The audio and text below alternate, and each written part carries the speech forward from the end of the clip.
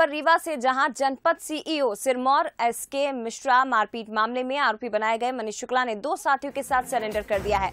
विश्वविद्यालय थाने में सरेंडर किया गया, मनीष शुक्ला ने खुद को निर्दोष बताया। कांग्रेस नेता अभय मिश्र पर कई गंभीर आरोप लगाए गए हैं। तो ये बड़ी खबर इस वक्त की आपको बता रहे हैं, जहाँ विश्वविद्यालय थाने में सरेंडर कर दिया है, मनीष शुक्ला ने खुद को निर्दोष बताया। हालाँकि सरेंडर उन्होंने किया, इसके साथ ही कांग्रेस नेता अभय मिश्रा पर कई गंभीर आरोप लगाए। तो जनपद सीईओ सिरमौर एस के मिश्रा से मारपीट से जुड़ा हुआ ये पूरा मामला है और इस पूरे मामले को लेकर कांग्रेस नेता अभय मिश्र पर कई गंभीर आरोप लगाए गए हैं। मनीष शुक्ला ने खुद को सरेंडर कर दिया है। खुद को निर्दोष भी उन्होंने बताया है। बयान दे रहे थे उसके, उनके पीछे कांग्रेस पार्टी के शहर अध्यक्ष और कांग्रेस पार्टी के ग्रामीण अध्यक्ष खड़े होकर के, पीछे खड़े थे। इससे ये समझ में आता है कि कांग्रेस पार्टी की किस रसातक पे जा रही है। है ना? दूसरी बात, अभय मिश्रा एक ऐसा शातिर अपराधी है, जिसके ऊपर दो दो, तीन सौ सात, तीन तीन, आपके तीन सौ तिरपन, एक सरकारी अधिकारी का अपहरण करने का मुकदमा तीन तीन तीन बार एक सौ दस की कार्रवाई, जिला बदल की कार्रवाई हो चुकी है। मेरा आप सबसे यही अपील है कि ऐसे शातिर अपराधी के ऊपर पुनः ज़िले से बदल करने की कार्रवाई हो।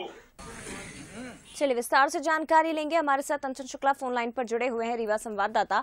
अंचल मनीष जो बताए जा रहे हैं मनीष शुक्ला इन्होंने अपने दो साथियों के साथ सरेंडर किया।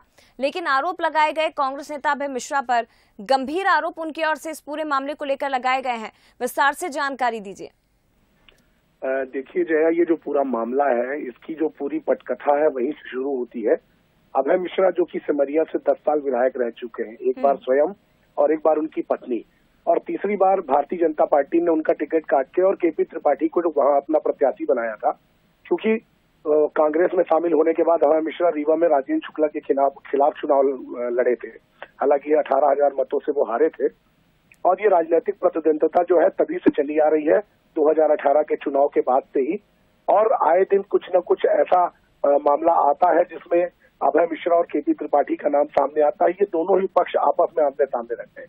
जिला पंचायत सीओ के साथ जब बातचीत का ऑडियो वायरल हुआ, इसके बाद जब सीओ पर अटैक हुआ तो अभय मिश्रा ने कांग्रेस पार्टी के जिलाध्यक्ष और शहर अध्यक्ष के साथ जा करके और रिपोर्ट लिखाई कि आदतन अपराधी हैं जो केपी त्रिपाठी के मंडल अध्यक्ष बदगुइया और जो पदाधिकारी हैं, इन लोगों ने सीओ पर जानलेवा हमला किया है।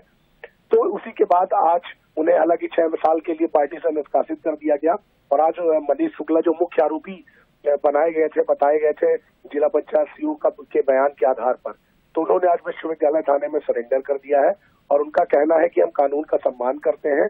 और जिस तरीके से मैंने तमाम सोशल मीडिया पे और मीडिया पे देखा कि एक स्वयं जो अपराधी रहे हो जिनके ऊपर खुद कई मुकदमे हो वो बता रहे हैं कि शातिर अपराधी ही हैं हम।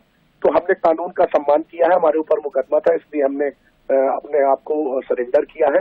अब जो भी होगा वो तो जाँच के बाद ही स्पष्ट हो पाएगा। बिल्कुल जाँच के बाद और भी बाकी जो तथ्य हैं, अंचल, वो सामने आ जाएँगे। फ़िलहाल शुक्रिया आपका ये जानकारी साझा करने के लिए।